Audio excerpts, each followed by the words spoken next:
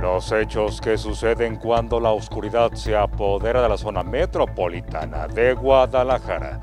Se los contamos aquí, en La Voz de la Noche. Desafortunadamente, la menor de 9 años sufrió amputación de su pierna derecha. Una menor de 9 años junto con su madre fueron atropelladas en el cruce de las carreteras Colotlán y Tezistán en Zapopan. De acuerdo con testigos, la conductora de un vehículo sedán en color blanco no respetó la luz roja del semáforo y ocasionó el accidente.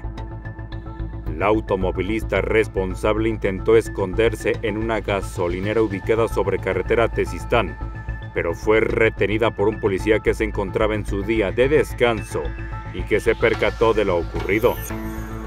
Hasta el sitio, paramédicos de los servicios médicos municipales brindaron las primeras atenciones prehospitalarias a las afectadas.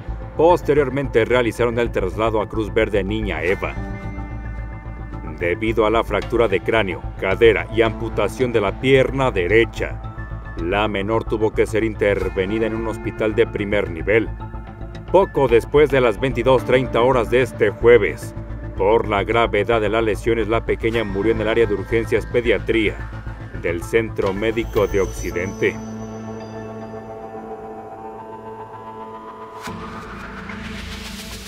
Dos hombres que robaban cableado dentro de un predio abandonado provocaron un incendio.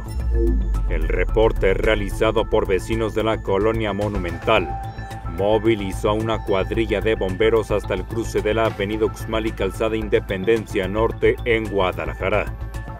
El riesgo estuvo latente por varios minutos, ya que el fuego cobró fuerza y estuvo a punto de llegar a dos negocios aledaños al incendio. Afortunadamente la oportuna respuesta y coordinación de los elementos fueron factores suficientes para sofocar las llamas en un perímetro aproximado de 8 por 25 metros. Quienes iniciaron este reporte de incendio huyeron sin ser detenidos.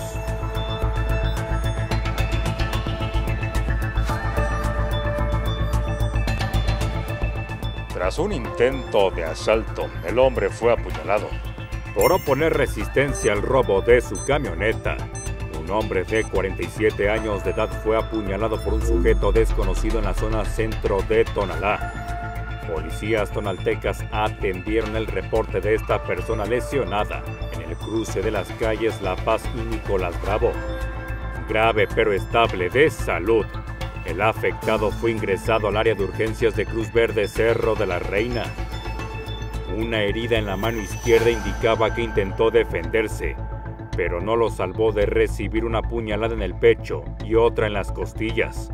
Pese al operativo de búsqueda, el presunto ladrón no fue localizado. A pesar que no opuso resistencia al robo de su auto, fue agredido a balazos. El conductor de una plataforma de transporte recibió un disparo de bala en la pierna izquierda, en el ingreso al fraccionamiento Los Agaves en Tlajomulco de Zúñiga. El lesionado de 35 años de edad, al sentirse herido, pidió ayuda al personal que labora en una tienda de conveniencia cercana al lugar de los hechos. En condición estable de salud, paramédicos lo trasladaron a un hospital cercano.